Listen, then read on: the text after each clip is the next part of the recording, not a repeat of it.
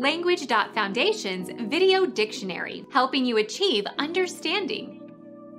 Arthritis that affects one or more of the intervertebral joints in the spine.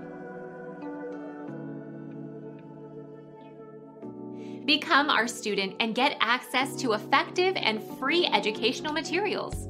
Subscribe to our channel to become a part of our growing community and to learn English effectively.